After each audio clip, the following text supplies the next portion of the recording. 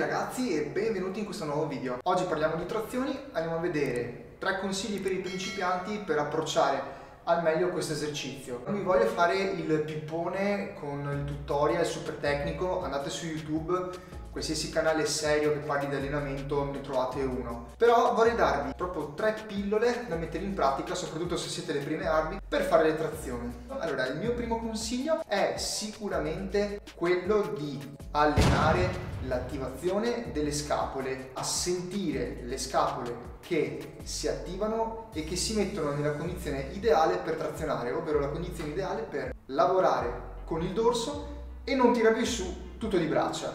In pratica si tratta di fare questo. Mettete la sbarra, mani alla larghezza delle spalle, leggermente superiore e da questa posizione dovete imparare a fare questo, a deprimere le scapole e ad addurle. Vedete?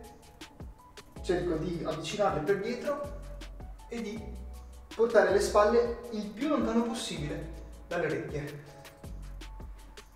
Fatto questo movimento, allora procedete a fare la trazione.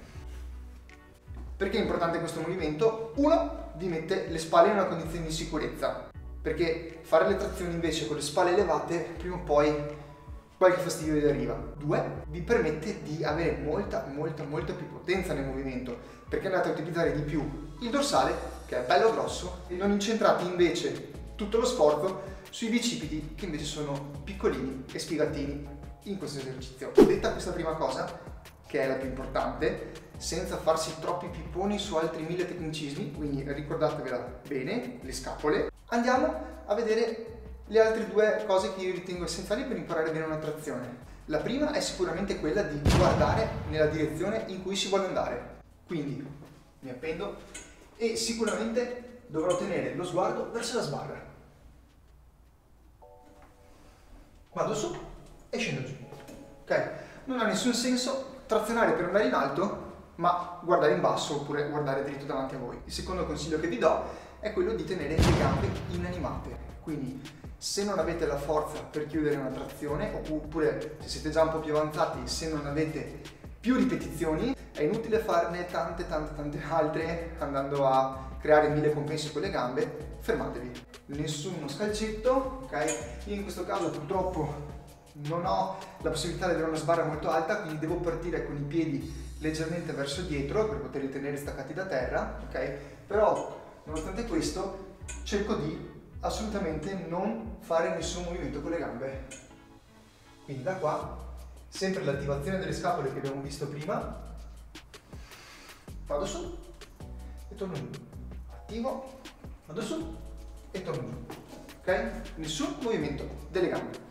Parlare delle gambe inattive mi permette anche di eh, chiudere il video con un principio importante. Se per voi già fare una trazione è veramente impegnativo, cioè se non riuscite a chiuderne neanche una, oppure se per chiuderla dovete veramente dare il massimo di voi e sforzarvi, vuol dire che probabilmente per voi è un po' presto per cominciare una programmazione diretta sulle trazioni. È come se voleste allenare la panca quando anche solamente tenere il bilanciere scarico per voi è un massimale, cioè è uno sforzo tale per fare solo una ripetizione, non ha senso.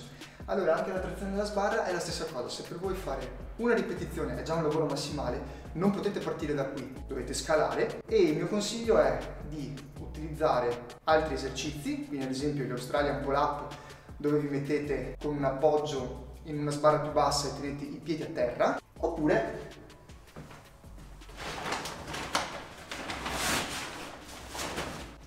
potete utilizzare un elastico come questo in modo da andare a scalare il peso corporeo, quindi togliere qualche chilo e riuscire a fare la trazione normale alla sbarra ma con un livello di difficoltà meno elevato.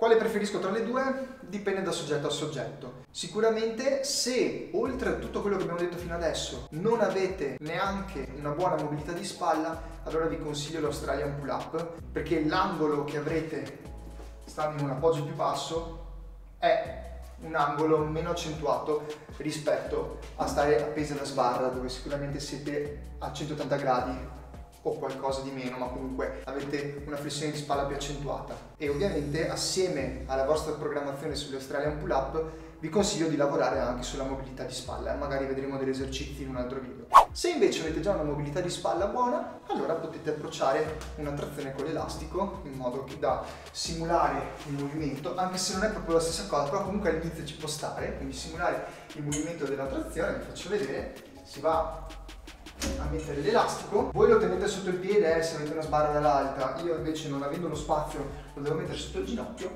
e da qua sfrutto la spinta dell'elastico attivo e vado su.